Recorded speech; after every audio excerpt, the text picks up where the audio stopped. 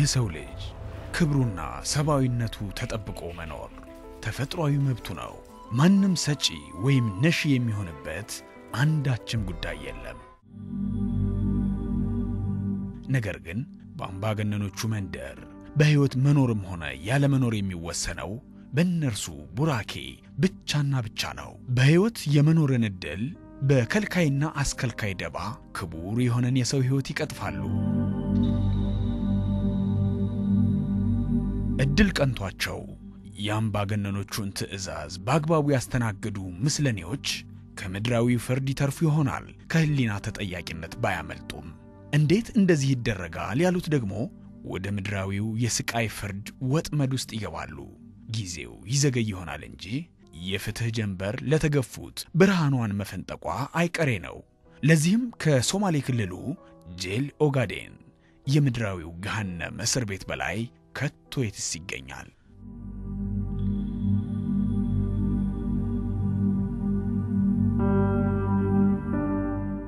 በዋናነት ግድያ፣ ማሸበር፣ ህዝብን ማሸበር መንግስት ተቃውማቸዋል በሚል ምክንያት የተቃወሙ ሰዎችን ሳይሆን የተቃወሙ ሰዎችን ቤተሰቦች ትምህርት በተለይ በእኛ ክልል ለየት የሚያደርገው በሌላው ኢትዮጵያ ክፍል በተለየ ሁኔታ ቤተሰቦች እነሱ ላላሉት ነገር ላላጠፉት ነገር የእናንተ ልጆች ተናግሯል ተብሎ የሚሰቃዩበት የሚገደሉበት ንብረታቸው የሚወሰድበት ሁኔታ ነበር። በተለይ ከ2005 እስከ 2010 ከፍተኛ ሁከቱ፣ ውጥረት፣ ችግር ውስጥ ነበር የሶማሌ ክልል።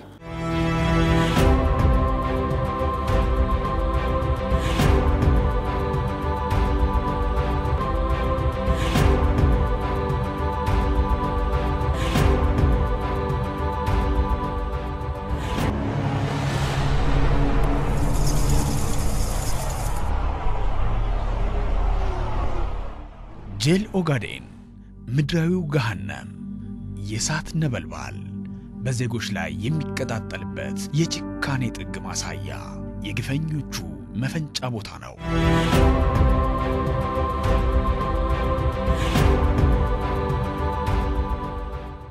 ሁለት ሺህ ስምንት መስከረም አካባቢ ከአምስት ጓደኞች እዚህ አካባቢ ነው የተያዝነው።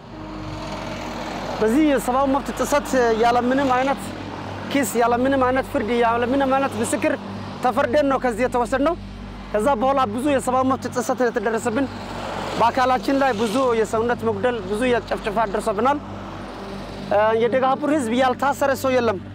ለምሳሌ ሴቶች ተደፍሯል፣ ሰው ታስሯል፣ ሰው ተሰዷል፣ ሰው ተዘርፏል። ያ ሁሉ ሰብአዊ መብት ጥሰት በደጋቡር ከተማ ተካሂዷል። ታስሮ ተፈርዶ እንግና ለምሳሌ አንድ እስረኛ ከተፈረደ በኋላ ይቀመጣል።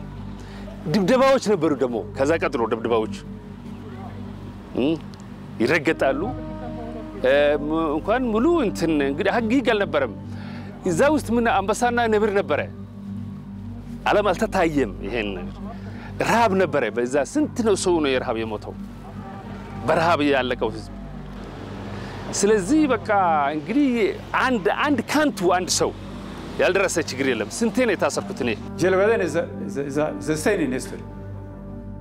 ጄል ኦጋዴን በኢትዮጵያ ታሪክ ውስጥ ከፍተኛ የሆነ የሰብአዊ መብት ጥሰት የተፈጸመበት ቦታ ነው። ታሪክ አይረሳውም። እስረኞች ላይ በደል፣ ሞት፣ ግርፋትና ሌሎች አሰቃቂ ድርጊቶች የሚፈጸሙበት ቦታ ነው። ይህ ብቻ አይደለም። በክልሉ ሁሉም አካባቢዎች ግድያና ሌሎች የሰብአዊ መብት ጥሰቶች ነበሩ። ክብር አሳጥተውን ነበር። ኢኮኖሚያችንንም ጎድተውታል። በተለያዩ የፖለቲካ ሥራዎች የክልሉ ሕዝቦችና ተወላጆች እንዲሁም ምሁራን እንዳይሳተፉ ተጽዕኖ ተደርጎብናል። የሶማሌ ሕዝብ ሳይወስን በሞግዚትነት ይቀያየር የነበረ በተለይ በምስራቁ ክፍል የነበሩት የመከላከያ መኮንኖች በቀጥታ ጣልቃ ገብነት እኔ ክልሉ ከኢትዮጵያ ክልሎች ተለይቶ state of emergency የነበረበት ማለት ነው ይቻላል። ተለይቶ በመከላከያ ስር የተቆጣጠረ እና እንደፈለገ የሚያደርጉበት እንደፈለገ በክልሉ ፖለቲካ ላይ የሚወስኑበት ይህን የተነሳ ክልሉ ብዙ የፖለቲካ ቀውስ፣ ስደት፣ ጅምላ ጭፍጨፋ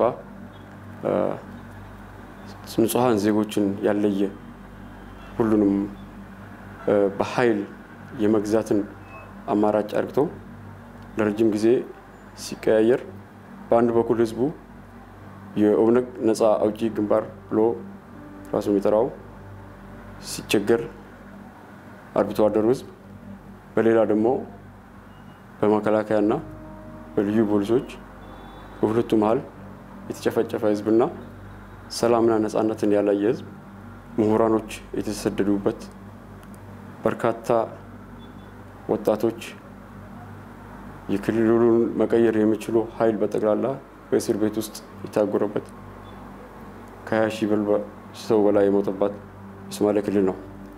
ህወሀት ጀነራሎች ታዛዥ የሆኑትን ለነሱ ብቻ አሽከር ሆኖ ማገልገል የሚችሉትን አመራር በመምረጥ የሶማሌ ህዝብ ራስን በራሱ የመወሰን ራሱን እንዲያስተዳድር ሳልተፈቀደለትም።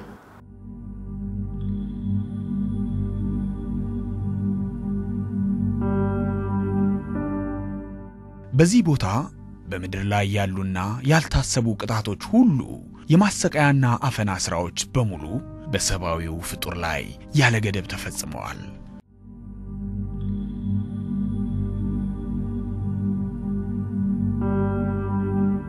ለሰሚውና ተመልካቹ የሚዘገንኑ የበደሉን ገፈት ለቀመሱት ደግሞ የሁል ጊዜ ቁስል ሆኖ ሕይወታቸውን አመሰቃቅሎባቸዋል።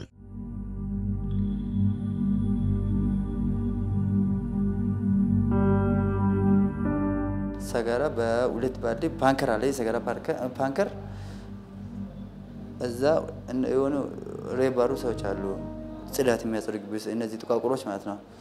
እነዛ ልክ ይታዘዛሉ። አንተ ትቀጠቀጣለህ፣ ባዶ ራቆቴን ትሆናለህ። ሄዶ በሁለት ባልዲ ሰገራውን ቀርቶ ያመጣሉ። ቀርቶ ሲያመጡ ቀጥታ አንተ ላይ ራሳቸው ነው የሚጨምሩት፣ እነዛ ጥቋቁሮች ማለት ነው።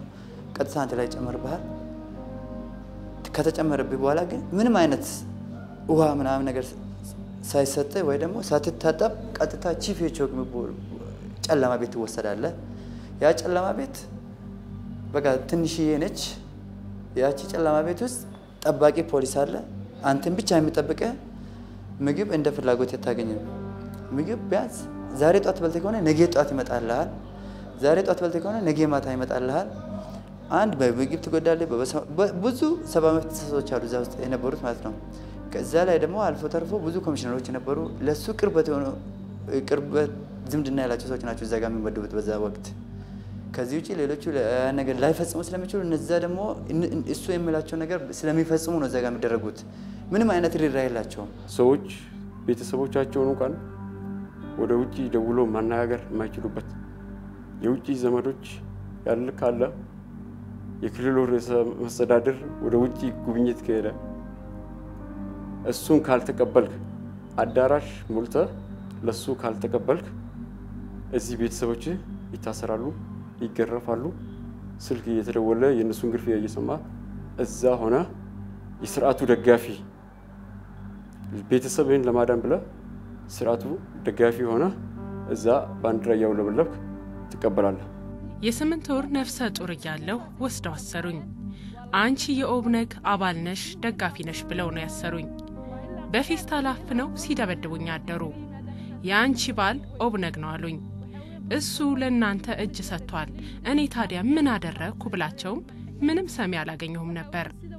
አስር ዓመት ፈርደውብኝ Jail ኦጋዴን ውስጥ ካስገቡኝ በኋላ እዚያው ወልጄ ልጄ ታሞ ስለነበረ ሕክምና እንዲያገኝ ብነግራቸውም ዝም በይ አንቺ ባለጌ አሉኝ። ከዚያ ልጄ ሞተ። ልጄን ቅበሩ ብላቸውም ማንም አልሰማኝም።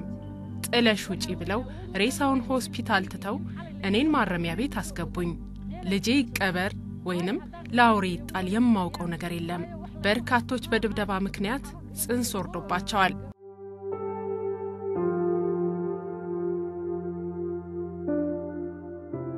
በ2003 ዓመተ ምህረት የጸጥታ ኃይሎች ማታ ላይ መጥተው ይዘውኝ ሄዱ። አንቺ ከድሬዳዋ ለወንበዴዎች ስንቅና ትጥቅ ታደርሽ ነበር አሉኝ። ደበደቡኝ። ያለምንም ፍርድ ለሁለት ዓመት አሰሩኝ። ማታ ስድስት ሰዓት ከማረሚያ ቤት አስወጥተውኝ ካልተናገርሽ እንገልሻለን፣ እዚህ ግድብ ውሃ ውስጥ ነው የምንከትሽ አሉኝ። የማውቀው ነገር በሌለበት ምን ልናገር? ልብሴን አውልቀው ራቁቴን ኩሬ ውሃ ውስጥ ከተቱኝ። ከዚያም እያስወጡ ተናገሪ እያሉ ደበደቡኝ። በሕይወቴ በራሴ ሰዎች እንዲህ አይነት ግፍ ይፈጸምብኛል ብዬ አስቤ አላውቅም። እኔ የፖለቲካ አባል አይደለሁም፣ ጎሳ ውስጥም የለሁበትም። በጀል ኦጋዴን ውስጥ በሰደፍ መቱኝ። በድብደባ ምክንያት እግሮች አይሰሩም። ጉዳት ደርሶብኛል። ይህን ሁሉ ግፍ የሰሩ ዛሬ ከተማ ውስጥ አሉ። ምንም አልተደረጉም። ፍትህ እንፈልጋለን። ድጋፍም ሊደረግልን ይገባል።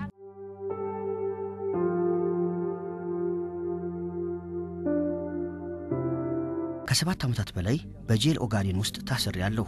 የማረሚያ ቤቱ ኃላፊ ከባህላችን ውጪ በሆነ መልኩ በሁለት አማቾቼ ፊት ልብሴን አውልቄ ራቁቴን እንድቆም አድርገውኛል።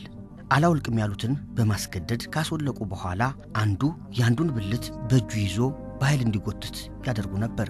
ከሰላሳ በላይ ሆነን ለመቆም እንኳን በማትሆን በአንድ ጠባብ ክፍል ውስጥ ለሦስት ወራት ታስረናል።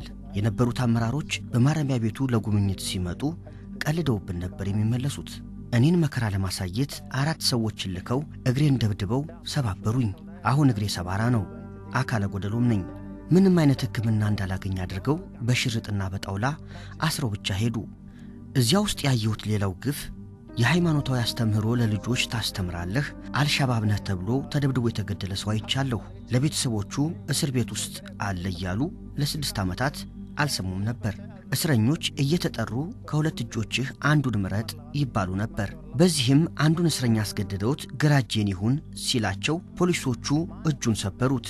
እጃችንን ድንጋይ ላይ አድርገው ይቀጠቅጡን ነበር። ያሳለፍነው ግፍ ተነግሮ አያልቅም። በጄል ኦጋዴን ውስጥ ከፍተኛ በደል ደርሶብኛል። ድብደባ፣ ግርፋት፣ በአሸዋ ውስጥ መቀበርና ከአውሬ ጋር አስሮኛል። ይህ በደል ያለምንም ጥፋቴ ነው የተፈጸመብኝ። በወቅቱ የነበሩት አመራሮች ምንም አይነት ሰብአዊነት የሌላቸው ፍጹም ጨካኞች ነበሩ። የደረሰብኝ በደል በሰው ልጅ ላይ ፈጽሞ ማድረግ ቀርቶ ለማሰብ የሚከብድ ድርጊት ነው።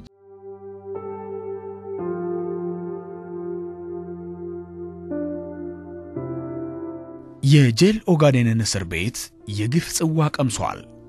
በሞትና ሕይወት መሃል ያለው የስቃይና መከራ ዱላም አርፎበታል። የግፉ መነሻም መንግሥትን ትቃወማለህ፣ ለምን ተማርህ፣ እንዴት ከመንግሥት ሥራ ለቀህ የግልህን ሠራህ የሚል ክስ ነበር በግፈኞቹ ወጥመድ ውስጥ ያስገባው። ያኔው 219 ዓመት ጽኑ እስራት ቅጣት ተካፋይ የጄል ኦጋዴኑ ፍርደኛ የዛሬው የቀብሪ ዳህር ከተማ ከንቲባ አቶ መሐመድ ሐሰን እኔ አራት ዓመት ታስሬ ነበርኩ Jail ኦጋዴን። የታሰርኩት ምክንያት ደግሞ ያ ለምን ትናገራለህ ያ ዋይ ለምን ከመንግስት ማለት ለምን አሰራም ወይም ስለ መንግስት መጥፎ ነገር እንዴት ትናገራለህ ተብዬ ነው እኔ የታሰርኩት። አራት ዓመት ነው ያሳለፍኩት። እኔ እኔ ብቻ አልነበርኩም እንዳለ ምሁራን የተማሩ ያ almost ከመቶ የሚበልጡ ምሁራኖች ነበር የዛ የታሰሩት።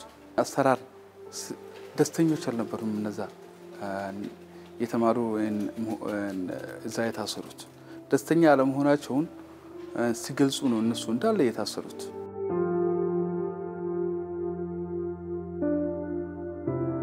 እኔ ፍርድ ቤት ተወስቼ አላውቅም። እኔም ጓደኞችም ያ እዛ ግቢ ውስጥ Jail ኦጋዴን ውስጥ ሆነን ነው ያ የፍርድ ወረቀት ይዞ የመጡልን። ያ for instance 27 ነበር ነ እኛ 27 ሆነን በስንት ነው የተፈረድነው? 219 ዓመት 27 ሆነን አንዱ 15 አንዱ 10 አንዱ 12 አንዱ 7 አንዱ 5 ያ ሁሉ ስንደማምረው ሁለት 19 ሆኑ። ሁለት 19 ዓመት ነው የተፈረድነው 27 ሆነን ግርፍ ያለ ከነብር ጋር የሚያጣሉ ሰምታይምስ ከነብር ጋር እኔ የሚያስታውሰው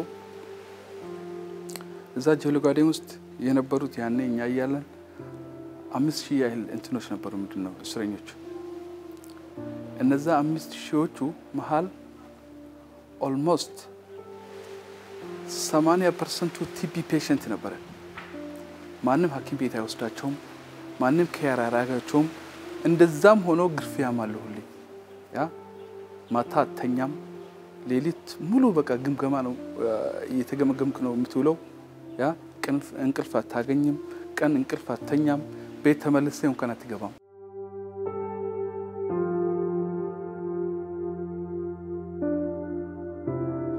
ማሰርና ማሰቃየትን እንደ ድራማ የሚዝናኑበት ግፈኞቹ ለአንድም የግፍ እስረኞች የክስ ዝርዝር አያደርሱም። ይሄ ጥፋቴ ነው፣ ይሄ ደግሞ ትክክል አይደለም ብሎ መከራከርና መከላከል አይታሰብም። እዚያው በታሰሩበት እንደ ሎተሪ የስር ፍርድ በብጣሽ ወረቀት ይመጣላቸዋል እንጂ ስርዓቱ በባለ ጊዜ ፍርደ ገምድሎች ይዘወራልና።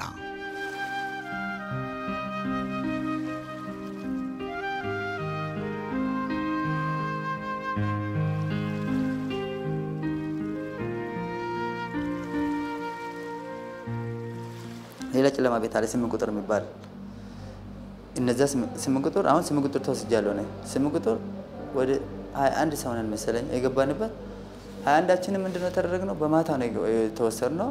በማታ ተወስደን ምንድን ነው እናንተ እኔ የተባልኩት አንተ የኦነግ መረጃ አቃባይ ነው የተባልኩት። እዚህ ውስጥም ሆነ ሌላ ነገር ትሰራለህ። ከእንደገና ደግሞ እዚህ ውስጥ ያሉትን ኦሮሞዎች ታነሳሳለህ። እና መቼም ቢሆን በእኛ እጅ እስካለ ድረስ ምንም አይነት ነገር አታመጣም በምለው ነው። እኔ ምንም ማውቀው ነገር አልነበረ ምንም ነገር እኔ ስለ እስረኝነቴ እንጂ እኔ ሌላ ነገር ምን ማድረግ ይቻላል? የታሰረ ሰው እኮ በቃ ምንም እንቅስቃሴ የለውም ማለት ነገር ግን እዛ ውስጥ የነበረው ነገር ስምንት ቁጥር ቢያንስ ወደ ሶስት ወር ቆየን። ማታ ማታ ውሃ ይመጣል። አንዷ class ሀያ አንድ ነን እንግዲህ ሀያ አንድ ሰው አንዳችንም ውሃ ባለ ሀያ ሌትር ሀያ አባ ይመጣል ይደፋብሃል። ራቆትን እዛ ላይ በቃ ልክ ውሃ የሚዋኝ ሰው እንደ ውሃ ገንዳ ይሞላብሃል ይሞሉልሃል። እዛ ላይ ነው እንትን የምትለው። ከዛ የቲቪ በሽታ ነው የያዘኝ። ከዛ ወደ ቲቪ መቆያ ክፍል ተወሰድኩኝ። እዛ ቆየሁ ስድስት ወር ጨርሼ አሁንም ወጣሁ። ሲወጣ አንድ ጊዜ ሰብአዊ መብት ኮሚሽን ሲመጣ በቃ ይሄንን ደብቁልን ተባለ። እኔ በቅጽል ስም ሸሪፎ በሚባል የምታወቀው አሁን እዚህ ክልል እኔ ቅጽል ስም ሸሪፎ ነው እና ሸሪፎ ልክ ሰብአዊ መብት ከመጣ እኔ ቀጥታ ወስጃለሁ። ወይ ነው የሚገባው ኮርኒስ ውስጥ ነው የሚገባ። ኮርኒስ ውስጥ ሲገባ ከላይ እንግዲህ ፀሐዩ ከላይ ያቃጥልሃል፣ እንደ ጉን ነው የሚያቃጥለ። እዛ ሰብአዊ መብት ኮሚሽን ያንን ጉዳዩን ጨርሶ እስከሚሄድ ድረስ እዛች ጋር ነው የምትቀመጠው። በየቤቶቹ ደግሞ ይሄን አሳያቸዋለሁ እኔ ቀዳዳ ቀዳዳ አሉ። እኛ እናውቃለን ምን እንደምደረግበት። እነዛ ቀዳዳ ውስጥ ለተወሰኑ ጊዜ ቆየሁኝ፣ ወጣሁ፣ ወረድኩኝ። አንድ ቀን ማታ የሆኑ ኦሮሞዎች ተጣሉ፣ እርስ በእርስ ማለት ነው። ከዛ ምን ተባልኩኝ? ዋና ቀስቃሳቸውና ዋና የነዚህ አቀንቃኝ ደግሞ ሸሪፍ ሆነ ተባልኩኝ።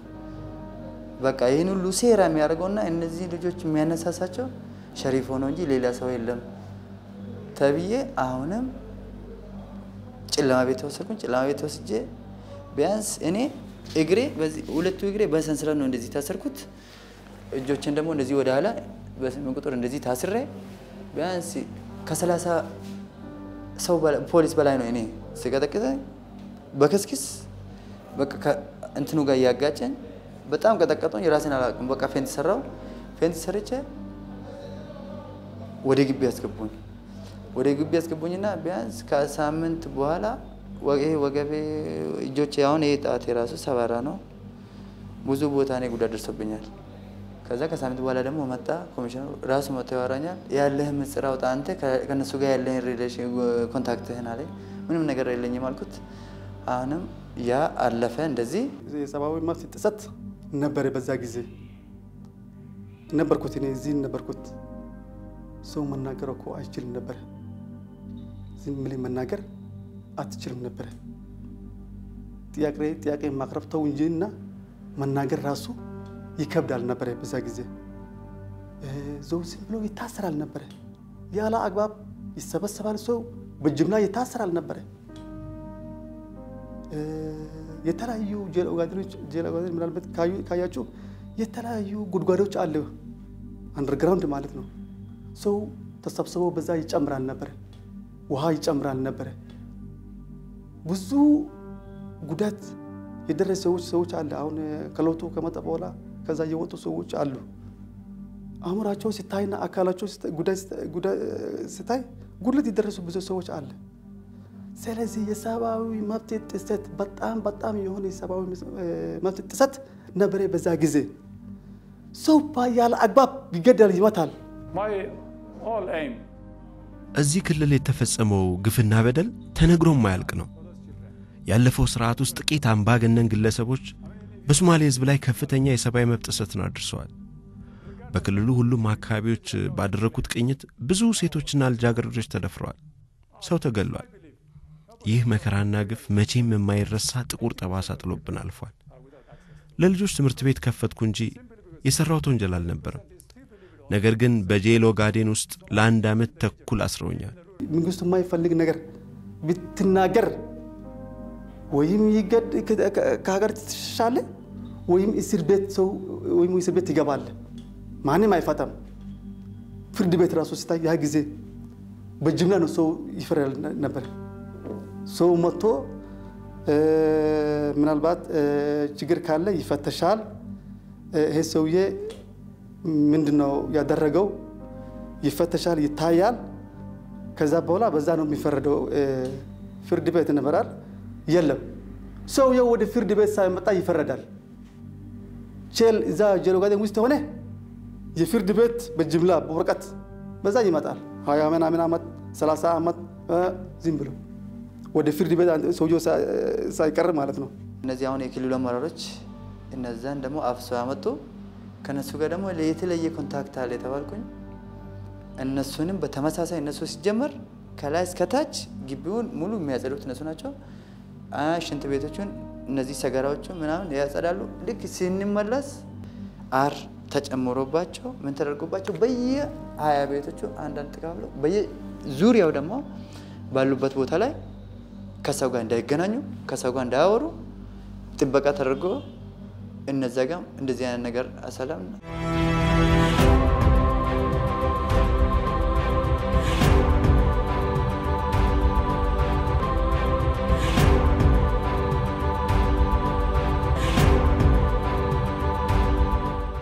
አቶ ይስሐቅ መሐመድ በጀል ኦጋዴን እስር ቤት በምስራቁ ሰቆቃ ውስጥ ያለ ርኅራሄ ከስምንት ዓመታት በላይ ታስሯል። የቤቱን አባወራ ወደ ምድራዊ ገሃነምም አስገቡት። የልጁን እናትና ባለቤቱን በማስገደድ የአንድ ሻለቃ ሚስት እንድትሆንም አደረጉ። ቤተሰቡም ተበተነ። ነውር ብሎ ነገር በግፈኞቹ ዘንድ ከቶ እንዴት ይታሰብና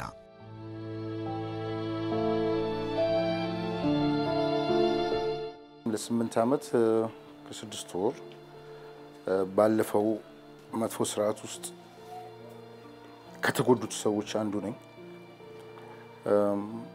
ስምንት ዓመት ተኩል የታሰርኩበትን ምክንያት ያው ምንም ባላረኩት ነገር ነው። እንግዲህ ሰው ልጅ ይሳሳታል፣ ግን የሆነ የሆነ ነገር አጥፍተህ ገብተህ ራሱ እስር ቤቱን ታምነዋለህ። ፍርድ ቤት ታሰርኩኝ። በሁለተኛው ቀን ፍርድ ቤት እድሜ ልክ ተፈርዶብሃል ሂድ ተባልኩኝ። በቃ ይሄ ነው። ምን አረግኩ? አንድ እንደዚህ ሰው ገለሃል ምናምን። እንዴት አድርጌ ነው የገደልኩት? በምን አይነት የትኛው ምርመራ የለም። የተጠየቁት ጥያቄ የለም። የሆነ ጊዜ ጨለማ ቤት አስገቡኝ። መማበቀው ታይም አልነበረም እና እናት ጸረ ሰላም ኃይል ነች። ለጸረ ሰላም ኃይል መድኃኒት ትሰጣለች እና information ኗን ታውቃለህ፣ ግለጽ አረ እናቴ የምታውቀው ነገር የለም። አይ ካልሆነማ እኛ እናስራታለን ብለን ለስምንት ወር አሰሯት። እናቴ ተሰዳ ወደ ባሊም ሄደች፣ ልጆቿን ሰብስባ ማለት ነው። ወንድሜ መንግስት ሰራተኛ ነበረ። ወንድም እዛ እስር ቤት ፕሮፓጋንዳ ጀምሯል ተብሎ ስድስት ወር ደግሞ ሳይሰጠው መጨረሻ ላይ ሊያስሩት ሲል እሱም ጠፍቶ ወደ አዲስ አበባ የገባበት ታይም ነበር። ሚስቴ እንደ ስጦታ ተደርጎ ለአንድ ሻለቃ ባልሽ ታስሮ ስድስት ወር ገና እድሜ ልክ ነው አይወጣም ተብላ በጉልበት ሚስቴን ሻለቃ ሚስት ሆናለት በግድ አንድ ልጅ ወልዳለች። እሺ ሄጄ እንዲፈታኝ እስር ቤት ሄጄ ልጠይቀው ማንም እሺ አላላትም። በቃ ከእስር ቤት ከወጣሁ በኋላ ይሄን ስትሰማ ተደብቃ ስልክ ደወለችልኝ። እንደዚህ አይነት አካባቢ ነው ያለሁት፣ በጣም አርቀዋታል። በቃ እኔም ከወዳጆቼ ጋር ተነጋገርኩና ሄድኩኝ።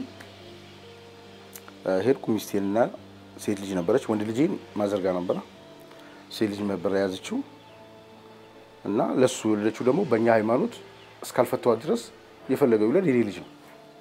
ያው በእኔ ሰማንያ ነው በእኔ ሰማንያ የተወለደው ማለት ነው። ሰማንያ ነው እንግዲህ የሚባለው በእኛ ኒካህ ነው መሄር ነው የተወለደውን በዛ ስለሆነ ወዳው ስላልገባች ተገዳ ስለገባች እንገዳ ተመልሼ ዳግም ሚስቴን አድሼ ያለሁበት ታይም ብቻዬን ነበር። ስምንት ሰዎች ነበር ሚስቶቻችን እንደ ሽልማት ለሻለቃ ሚስቶች ለሻለቃ ፖሊሶች የተሰጡ። አንድ ቀለታ ማታ ወደ ቼሉ ጋዴን ሳልመጣ ያው የማረሚያ ቤቶች እሱም እና እዛ እያለሁ ማታ አወጡን፣ ሶስታችንም አወጡን እና መጀመሪያ አነቁኝ። በነገራችን ላይ ብዙ አመት ስለሆነው እንጂ መጀመሪያ በገመድ ነው ያነቁኝ። በገመድ አነቁኝ። ወደ የሆነ time ላይ faint ወጣው። በሁለተኛ ቀን መጣ፣ አወጡኝ፣ ደበደቡኝ። እሱ ዱላቶ እሱ ዱላቶ እንደምናውረው ነገር ነው። ዱላቶ ችግር የለውም። ስትላመደው ደግሞ ከዱላው ጋር ከዛ በላይ አታምጣብኝ ነው የምትለው እና ሚጥሚጣ ጨምሩለት ተባለ። ሚጥሚጣ በርበሬ ነው ሚጥሚጣ ተጨመረልኝ። እንግዲህ ፌስታል ነው ገባ። አይን አለ፣ አፍንጫ አለ፣ አፍ አለ። እሱ ችግር የለውም። የአፍ ብለህ ነው ይሄን ነው አይን ነው በጣም ከዛ ወዲህ ገባ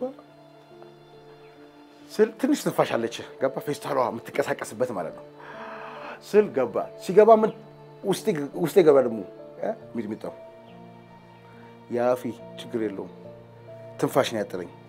አይኔ እኔ እንደዚያ አይነት በህይወቴ በነገራችን ላይ ተመልሶ ይመጣብኛል። እኔ እንጃ አላስብም። የሚጥሚጣው። ከዛ ወዲህ ቢያንስ faint ሆንኩኝ ህክምና ተወሰድኩ። ያው አስምም ስለነበረብኝ እዛው እስር ቤቱ ስለሆነ አስምም የያዘኝ ያው faint ነገሩ ከዛ ወዲህ ያመጡኝ ከዛ እንደገና ወደ ጄል ኦጋዴን መጣው። ጄል ኦጋዴን በመጣሁበት time ለአራት ወር ጨለማ ቤት ውስጥ ነበርኩ። ለአራት ወር በቀን ማገኘው በነገራችን ላይ ትዝ ሲለኝ በጣም ይሰማኛል። በአራት ሰዓት ምበላው አንድ ዳቦ ነች። ለአራት ወር ጨለማ ነው፣ ብርሃን አላይም። ያው ሽንቴን ሰገራዬን በትንሽ የተቆረጠች ባልዲ ያለች በእሷ ነበረ ማድረገው እና ያችን አንድ ዳቦ ስበላ ዳቦውን አስወጡት። ገባ የበላውን ለምን ይበላል? ያቺ የበላችሁን ተብላ 15 ዱላ አለች እና ቧንቧ ስር ነው ይከፈትልና ጭቃ በጭቃ ትንከባለላለህ። ያው ብርድ ታይምስም ስለነበረ ያው በቁንጣና በጃፖኒ ነው ተንከባለ ተንከባለ ያ ብርድ ሲመጥህ የሆነች ቱቦ አለች። ከዱላም እንግዲህ ለየት ያላለ ቱቦ አለች። ቱቦ ስተርፍብህ የውስጥ ስጋም እንደ መቆረጡ በቃ የሆነ እንዲህ መነሳቱን ነው የሚሰማ። ዱላ ይሻላል። ዱላ መጥቶ እንትን የሚለህ እና እየተንከባለል ካስብ ወደዛ ስትሄድ ሶስት ሰው ነው ስትንከባለል እየተመታ ነው የምትንከባለለው። ከዛም ስትመለስ ቢያንስ አንተ ሰውነትህ ቀልቶ ቀልቶ ቀልቶ ቀልቶ ነው ወደ እንደገና ጨለማ ውስጥ የምትገባው። በጣም ብዙ ጓደኞቼ ህይወታቸውን ያጧሉ። በጣም በጣም ህይወታቸውን ያጧሉ።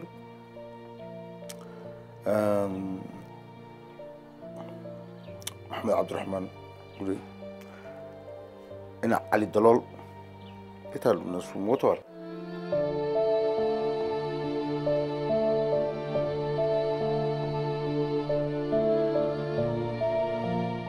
አንድ ቤት እኚህ ያልኩን ልጆች ታይታኒክ ብለው ያወጡላቸው ሁለት ተከታታይ ክፍል ነው። እዚህ አርባ ሰው ነው ያለው፣ እዚህ ደግሞ ሰላሳ ሶስት ሰው ነው ያለው። በትንሹ ዲግሪ ያለው ትንሽ ነው። ሌላ ሁለት ዲግሪ ማስተርስ ምናምን ያለው እኚህ ወጣቶች ናቸው። አሁን ስማቸውን የጠቀስኩልን እና ለስምንት ወር እዛ ውስጥ ነበሩ። ሽንት የለም። እዛው ባልዲ ይቀመጥላቸዋል። እንግዲህ አስብ፣ አንዱ ከአንዱ የእህቱ ባል ነው፣ ይሄ ደግሞ ባል ነው። እንዴት የእህት ባል ፊት ለፊት አንተ ባልዲ ላይ ትቀመጣለህ? እንግዲህ ያስብ እንደዛ ተደርጎ ለስምንት ወር ከዛ ወዲህ ሲወጡ ደግሞ በየጨለማ ቤት ዩሱፍ ጀላሊ ኮሚሽን ነበረ በዛን ጊዜ። ስርዓቱን ስላልወደድ ነው የታስረው። ግን በፓንትና በጃፖን ያስቀረተው ነው አንድ ክላስ ውስጥ ለስንት ወር? እነ በደሊዝ እነ አልግንስ እነ ሮብሊስ የደረሰብህ በትንሹ በትንሹ በትንሹ ሳስቀምጥልህ ዱላን ሰው ዱላ እንደ ምግብ ውሰደው። ፈጣሪው ዛሬ ደግሞ ምን አይነት ፊልም አይተው ነው የሚመጡት ነው ምን አይነት ፊልም አይተው ከዛ ያዩት ፊልም ላይ እኛ ላይ ሊያደርጉ የሚፈልጉትን የትኛው አይነት ነው? እኔ ሃይላንድ ተንጠልጥሎብኛል። አስበው አንድ ሃይላንድ ሀያ ሊትር ውሃ እንዲህ ስትነካው የሚያመህ እኔ አጋጣሚ ይገርማል፣ የፈጣሪ ነው። ቀዳዳ ነበረች። ውሃው ለካ ፈሶ አልቋል። አሁን አንዳንዶቹ መውለድ አይችሉም። ህመሙን ፈጣሪ ብቻ ነው የሚያውቀው። ሰው የደረሰበት ሰው ብቻ ነው የሚያውቀው።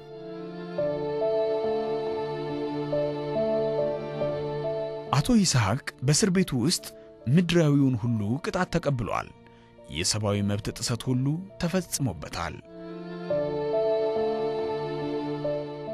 ይገርምሃል፣ አንዴ ከጨለማ ቤት ወጥቼ ያው በቃ ሰኔ ልማዴ ነች። በአመት ሰኔ ያው እስከ ሰኔ ማልነካው ለምንድን ነው? መምህር ነበርኩኝ እዛ ውስጥ አስተምር ነበራል። ያው አማርኛ ቋንቋ አስተምራለሁ። ያው ያው ፋርማሲስትም ስለነበርኩ ያው ኬሚስትሪ አንዳንዴ አስተምራለሁ። ግን ማጅም ሌላ አስተማሪ ስላልነበረ አማርኛ እንደዚህ ብቻ ያው አማርኛ መምህር ነበርኩኝ። ያው እስከ ሰኔ አልነካም። ለምን ጥቅማቸው ነው። ያው ተማሪዎችን ነው ማስተምረው። ያው በራሳችን ነው እነሱ ባመጡልን መመሪያ አይደለም። እርስ በራሳችን ራሳችን እስረኞች ተባባርንና አይደለ እነዚህ ሰዎች እዚህ ቦታ ላይ የሆነ ነገር ይዘው እንዲወጡ even የሆነ መጽሐፍ ካልቻለ መጽሐፍ ራሱ ለምዶ ከዚህ እንዲወጣ እድሉ ብለን ተባብረን ወደዚህ ስራ ውስጥ የገባንበት time ነበረ። ሁለት ሰዓት ስደርስ ግምገማ ግባ ትባላለህ። ግምገማ ትገባለህ። የምትጀምረው ግምገማ ስገባ ያው እንግዲህ እንደ ሰራዊት ነው። አንድ ሁለት ሰበጨበጭና አባታችን አብዲ ማህሙድ መለስ ዘላለም ይኖር ብለህ ነው። አጋጣሚ የሆነ ሰው faint ይነቅላል። ግምገማውን ሶስት ሰዓት ነበረ። አረባ ቆይ አንድ ሰው faint ይነቅላል ምናምን ብለን ወደ ሰውየው እኔ ነበር መጀመሪያ ቀና ሳደርገው ሰውየው የለችም፣ ሞቷል። ግምገማ ውስጥ ከምንጨርሰው time ሬሳው አልወጣም። ከዛ ወዲህ አንድ ጓደኛዬ ስማ አልኩ በቃ ታዲያ ምን ተስፋ ያለን አሉ። ተስፋችን ፈጣሪ ካልሆነ በስተቀር ምንም ተስፋ የለንም። በል ወንድሜ ወደ ፈጣሪ ሌላ ነገር ያቁመን ወደ ፈጣሪ መሮጥ፣ ከእሱ ጋር ብቻ ሰንሰለታችን ማስር፣ ለሰው የማይታዘንበት ሰው መሆንን ራሱ ማይታወቅበት እንዲህ ሰው ልጅ ሰው ልጅ ሰው መሆኑን ማይታ እኔ እንደዛ እኔ በነገራችን ላይ በዓለም ላይ ጎንቶናሙ በመጽሐፍ አንዳንድ ነገሮችም አይቻለኝ። እኔ ከዚህ በላይ ጎንቶናሙ የሚባል እስር ቤት ራሱ አለ ብዬ አላስብም።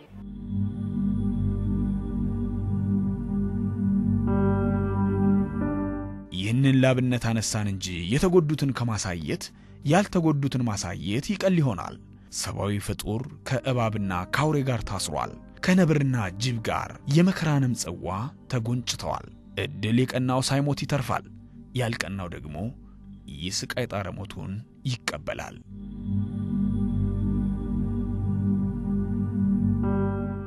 ከዚህ ወደ ውጭ የምትልኩት በወረቀትም ጽፋችሁ የተለያዩ ነገሮችን ታሳልፋላችሁ እና ይሄ ማን ከእናንተ ማን ነው የሚቀበለው?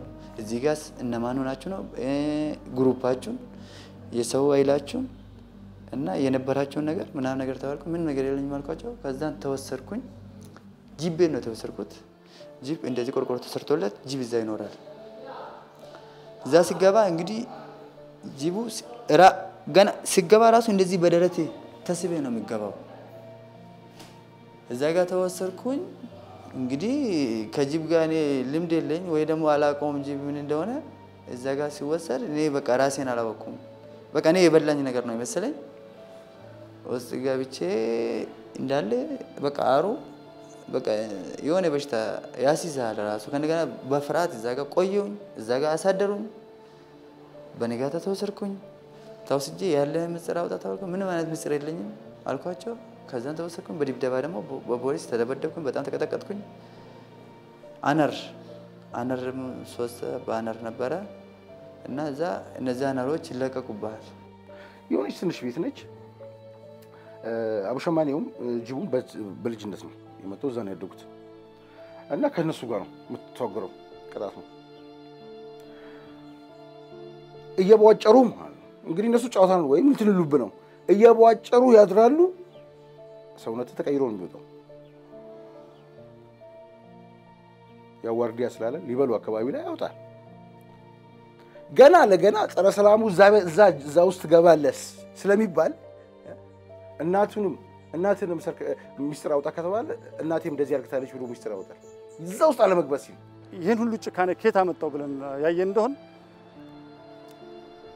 በሀረርጌ አካባቢ የነበረው ጀነራሎች እውነት ለመናገር ይህ ታሪክ ራሱ ይወቅሰናል ካልተናገር አብርሃም ወልደ ማርያም የዚህ ሶማሌ ከሀያ ሺህ ሶማሌ የተደፈሩት የተገደሉት በየቦታ ከአንድ ቤተሰብ ስምንት ሰው ዘጠኝ ሰው ነው የተገደለው። እስር ቤት የነበረ አንድ ዘመድን ለመጠየቅ ሂጄ አንድ ጊዜ ዘመዴ ምንድን ነው ያለኝ፣ እዝጌር እኔን እዚህ ያስገባኝ እሱም ነጋዴ ነበረ። ብዙ ነገር እንዳይ ነው ፉአድ በጣም ደስ ብሎኛል። እዚህ ዛሬ አለም ያገኘሁት ካርቶን የሚበላ ሰው አየዋለ፣ ፌስታል የሚበላ አንዱ የመጣለትን ምግብ ለአንድ አረት ሲበሉ ፌስታል የመጣበትን ፌስታል የሚበላ ሰው አለ።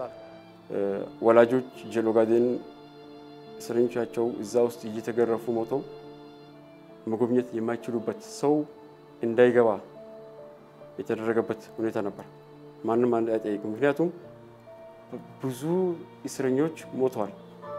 በግርፊያ፣ በቀዝቃዛ ውሃ፣ አፈር እንትን በማድረግ ሽንት ቤት ውስጥ በመክተት ከአውሬ ጋር በማሰር እና ከፍተኛ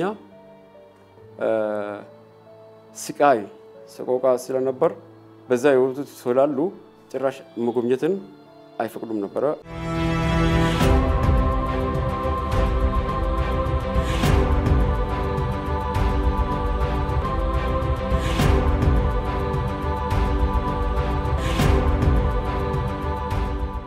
አንዴ ጥየቃ መጥተው ወደ ጥየቃ ሄዳለሁ። ወደ ጥየቃ ሄጄ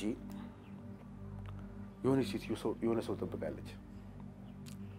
ሴትዮዋ ሰውየውን በጣም በጉጉት የምጠብቅ ለካ ለአራት ዓመት አላየችውም፣ ግን ለአራት ዓመት ብርና ልብስ ትልካለች። የሆነ ፖሊሶች ነው የሚቀበሏት። ከዛ ወደ አብድራህማን አሊ ሙሳ ምናምን አለች። ከዛ ወዲህ እኔ ደግሞ ብራዘር እየጠበቅኩ ነበረ። ከዛ ወዲህ እኔ ደግሞ ልጁ በእጄ ላይ ነው የሞተው። ጥለ ኮሚቴ ነበርኩኝ። ከዛ ስሙ በጣም እስከ ካርድ እንትኑ እስከ ቢያንስ አሁን ራሱ በ message ውስጥ አድርጌ ያስቀመጡ ጽፌ ያስቀመጥኳቸው እስከ ስልሳ ምናምን ሰዎች የሞቱ አሉ። እንግዲህ ቁጥሩ ቶ የሆነ ታይም ላይ እነግርሃለሁኝ እና ገርሞኝ ዞር ብዬ አየኋትና እሱ እኮ ከሞቱ እኮ አራት ዓመቱ ነው አልኩት። ሴትዮዋ አውቃኝ ተናገረች። ለካ አጠገቤ ምንድን ነው ሴትዮ ምኖች ኧረ ይሳቅ የሆነ ነገር ብሏት ነው። እኔም ደግሞ እዛ በላይ እዛ ላይ በጣም ኃይለኛ በቃ አንድ ነገር ኮሽ ካለች እሱ ነው ነው የሚባለው። እዛ ወዲህ ወዲያው አንጠለጠሉኝ። ለሁለት ወር በዛች ቃል ጨለማ ቤት ውስጥ ገባሁ። እንግዲህ አስብ፣ ባሏ ነው ያቺ ሴትዮ። ከዛ ልጆቹን በትናበረች። እስካሁን እብድ ነች። ለአራት ዓመት እንግዲህ ባሌ ብላ ለምታመጣለትን እቃ እነሱ እየተቀበሉ ብሩንም ጫት እየቃሙበት ልብሱንም እየለበሱ ለአራት ዓመት። ታዲያ የግንቦት ሀያ ትሩፋት የቱ ነው? እየተደበደብክ ምን እየተደረግ አቀበጦት ነው የምትገባው። በወቅቱ ቢያንስ ለአንድ ዓመት ኃይል ምግብ የሚባል ነገር አልነበረም። የምግብ እርዳታ አይደረግልህም። ዛሬ ጠዋት በልተህ ከሆነ ነገ ማታ ወይ ደግሞ ነገ ምሳ ላይ አንድ እንጀራ ለሶስት ይሰጣሃል። አንድ እንጀራ ለሶስት ያንን ቀማምሰው ወደ ቤት ግምገማ ግቡ ነው የምትባለው። መቀመጥ የሚባል ነገር የለም። ውሃ የለም፣ ሳሙና የለም፣ ልብስ የሚባል ነገር የለም። ያቺ ልብስ እንግዲህ አንድ ልብስ አንድ ሽርጥ ካለችክ ያቺን ሽርጥ ሸርጣት ታራለ። በዛች መሬቱ ሲሚንቶ ነው፣ ግማሹ ግማሹ ምንጣፍ ነው፣ ግማሹ አንድ እንደ እድል ፍራሽ የሚደርስ ያለ ፍራሽ ግን ምንም ነፍስ የለውም። ያው ከምንጣፉ ጋር ምንም አይነት እንትን የለውም። አስገራሚው ነገር አዳራሽ ይሰበሰብና አዳራሽ ግምገማ ሲደረግ አንድ ሰው አንድን ሀሳብ የሚቃወም እዛ ጋር ካሳየ እዛው ፍርድ ቤቶች ጠርቶ ነው የክልሉ ርዕሰ መስተዳድር እዛው ጥሩልኝ ፍርድ ቤቶቹን እዛው ይወሰናል። በጣም መግለጽ የማይቻል በፊልም መልክ መሰራት ያለባቸውና ብዙ ከባድ ድርጊቶች አሉ። እዛው ጋር ይወሰናል። ማረሚያ ቤቶች ለምሳሌ አምስት ቀን አምስት እና አምስት ማታ ሳትተኛ ግድግዳ ንክስ ትባላለህ። ግድግዳ እንደዚህ ነክስህ ይዞርባል፣ ትወድቃለህ። እንደገና በዱላ ያነሳሃሉ። እንደገና ትወድቃለህ። እንደገና በዱላ ያነሳሃሉ። ሽንት ቤት ወይም ቁሜተኛ የሚባል ቺፍ ናቸው። ቁሜተኛ መቀመጥ አትችልም፣ መተኛት አትችልም። ለምሳሌ ትንሽ ጠባብ ክፍል ናት። እነዚህ ትንሽ ጠባብ ክፍል አምስት ሰው ሊገባ ይችላል። ይህ አምስቱ ክፍል አምስቱ ሰው አምስቱ ሰው በተራ ሊሆን ይችላሉ። አንዱ ይቀመጣል። የተወሰኑ ሰዎች የተወሰነ እረፍት በእረፍት አንዱ ይቆማል፣ አንዱ እንትን ይቀመጣል። ስለዚህ አንዳንዴ ሽንት ቤት ያስገባሉ፣ አንዳንዴ ቀዝቃዛ ውሃ ያስገባሉ፣ አንዳንዴ በዱላ በውሃ ይነከረዋልና በዱላ ይገርፋሉ። ያንን የደረሰብን በደልና ጭፍጨፋ በሀሳቤ መግለጽ የማይችል ችግሮች ነበሩ። አንተ እኮ ሰው ልጅ መጥቶ በደንብ አርግቶ መጥቶ ቀጥቅጦ እኮ ቢተውህ ምንም ችግር የለውም። ግን ሰው ልጅን ሁለት ቀን ሙሉ ግድግዳ ግድግዳ ፊት ለፊት አቁመህ መቀመጥ አትችልም። ሲዮ መቀመጥ ደግሞ ሶስት ፖሊስ ተመድቦልህ ያኛው ሲደክሞ ያርፋል፣ ይተኛል። ይሄኛው ተነስቶ አንተን ይጠብቃል። ልክ እንደ ዋርዲያ ማለት ነው። ያንተ መቀመጥ ነው የሚጠብቀው፣ ሌላ ነገር አለም። ከዛ ወዲህ እግርህ አብጦ አብጦ አብጦ ይሄን ያክሉ መቀመጥ አትችልም። ከተቀመጥ ዱላ ነው የሚርፍ። አንድ ሰው ፍርድ ቤት ሳይቀርብ ወረቀቱ የፍርድ ወረቀቱ እስር ቤት ውስጥ ነው የሚታደለው። 15 ዓመት 20 ዓመት አንዳንድ ጊዜ ሁለት መቶ ዓመት ስንት ናችሁ የተባሉ ሁሉ አሉ። ስንት ሰው ናችሁ እዚህ ውስጥ class? ሁለት መቶ ዓመት ተከፋፈሉት። real ነው የምንናገረው። practically አሉ በህይወት አሉ ይህን ያጋጠማቸው። በእስር ቤት ውስጥ ከፍተኛ ድብደባ ነው የደረሰብኝ። አንገቴን ደብድበው ሰበሩት፣ እጆቼም ተሰብረዋል። የማረሚያ ቤቱ ፖሊሶች ጨለማ ቤት ለብዙ ዓመታት አስረውኛል። እስር ቤት እያለሁ ቤተሰቦቼን በሞት አጥቻለሁ። አሁንም ማንም የረዳን የለም፣ ሕክምናም አላገኘንም።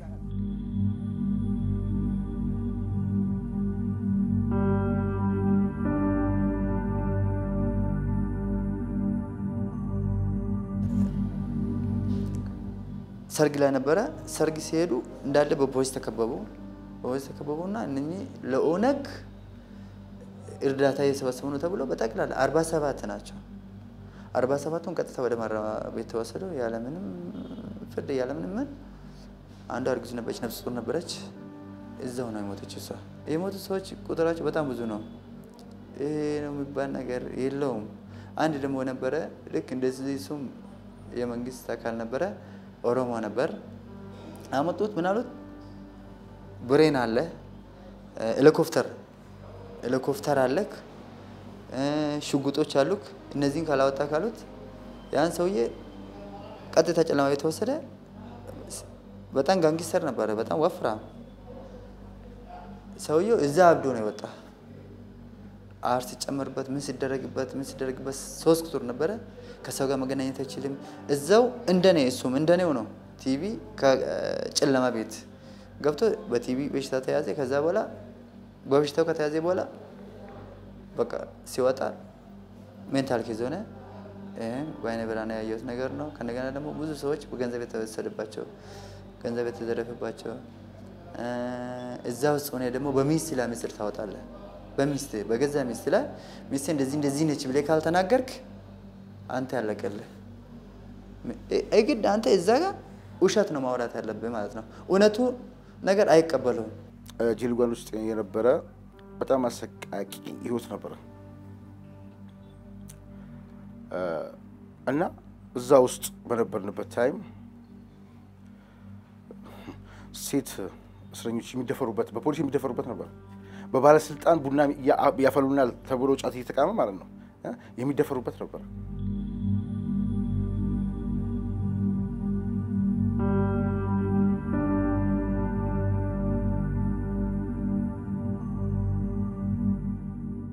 በጀል ኦጋዴን የማሰቃያ እስር ቤት ውስጥ ሰዎችን አንገታቸውን ብቻ በማስቀረት አሸዋ ይደፋባቸዋል። በሐይቅ ውስጥ ከነ ሕይወታቸው ይቀበራሉ። የመከራ ጉድጓድ ውስጥም ይወረወራሉ። ከአንገት በላይ ታፍነው በሚጥሚጣና በርበሬ ይታጠናሉ። የጭካኔ ዱላም ያርፍባቸዋል።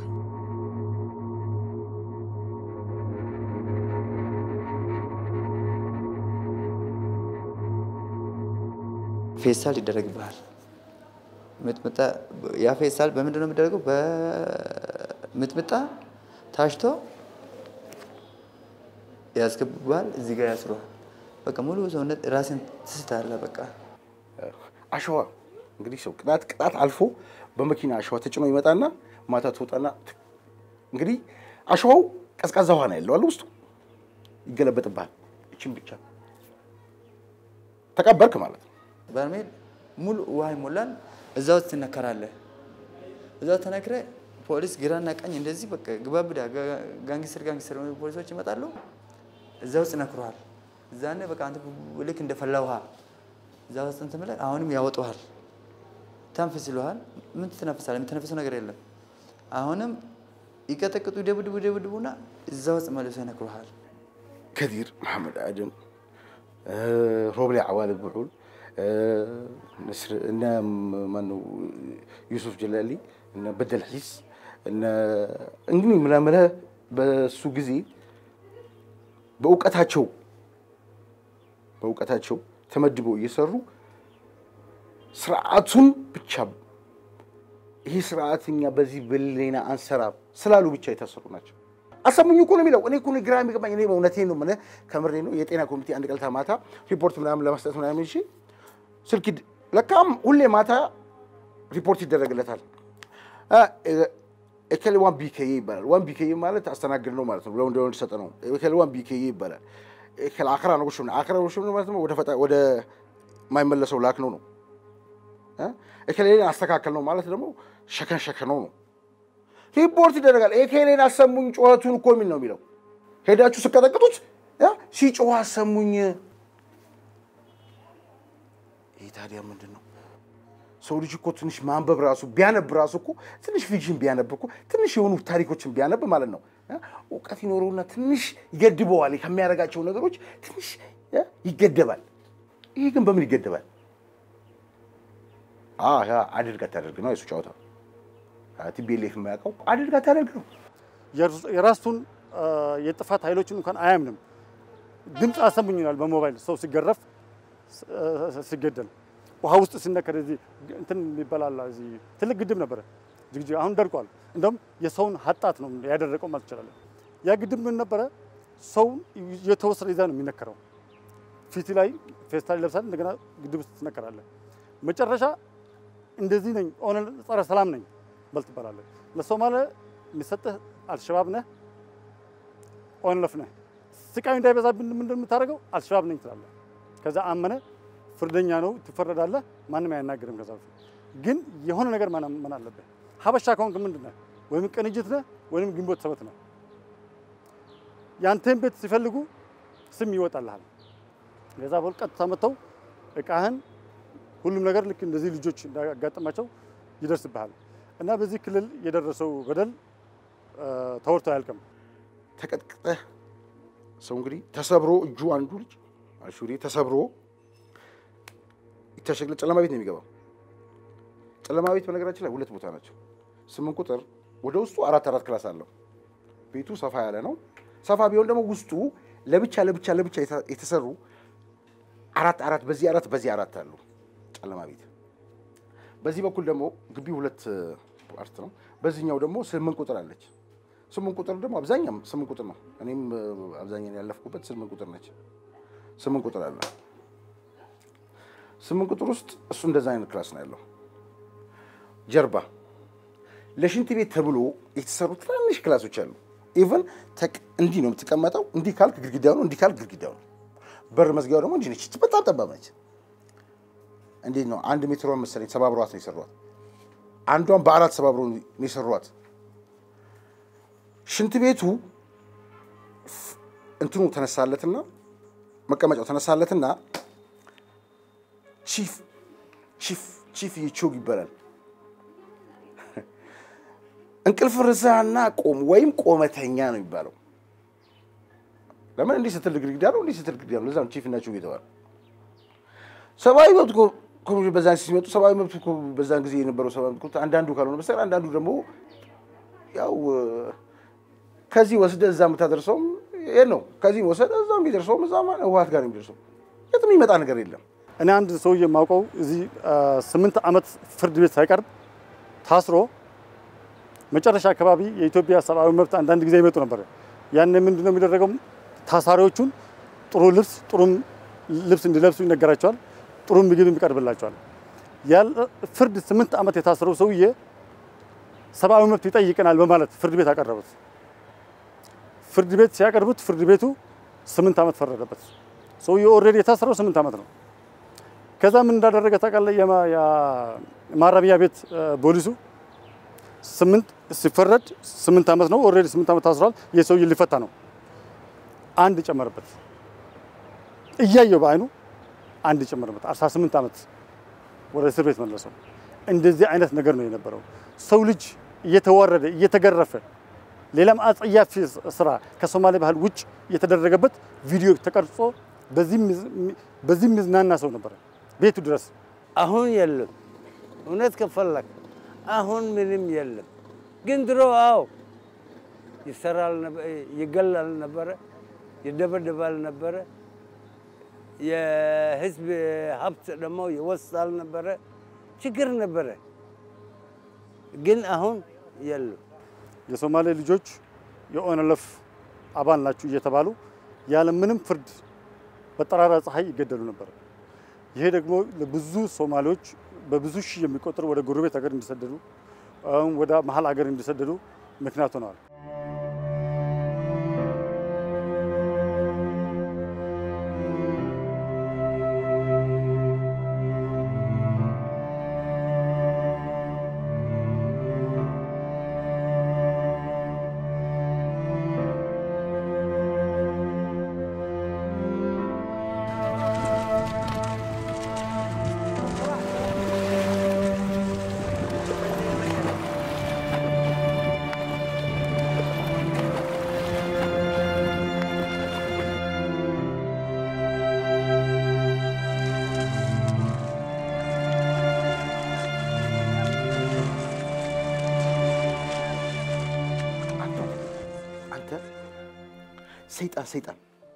ሰይጣንን ታውቀዋለህ።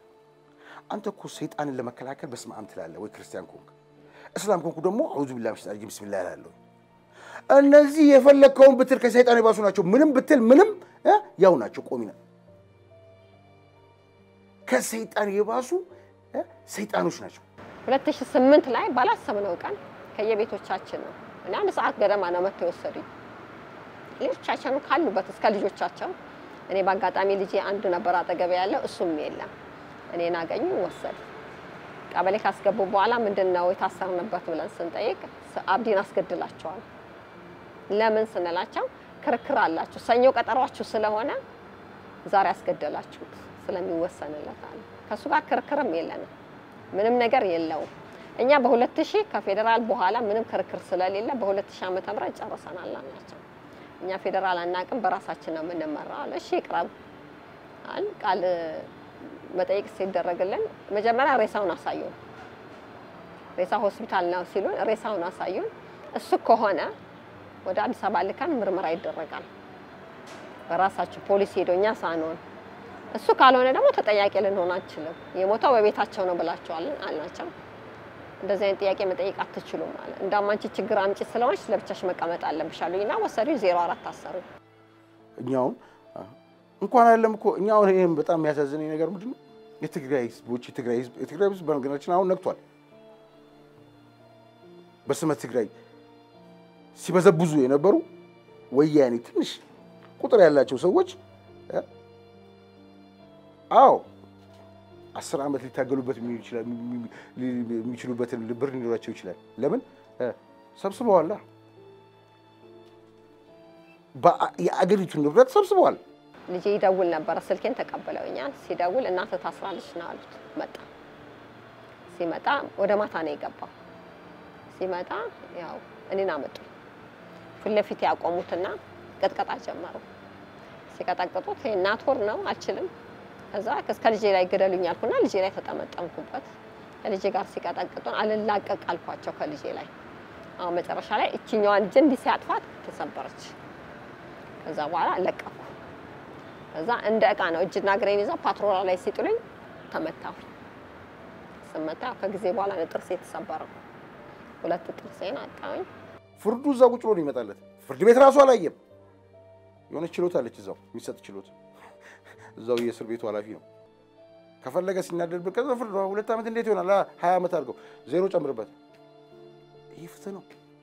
የችግሩ መጠን እንዲሁም የችግሩ አይነት ደግሞ የማሰቃየት አይነቶቹ ደግሞ ከዛ በበለጠ ይሰፋሉ እና በዋናነት ግድያ፣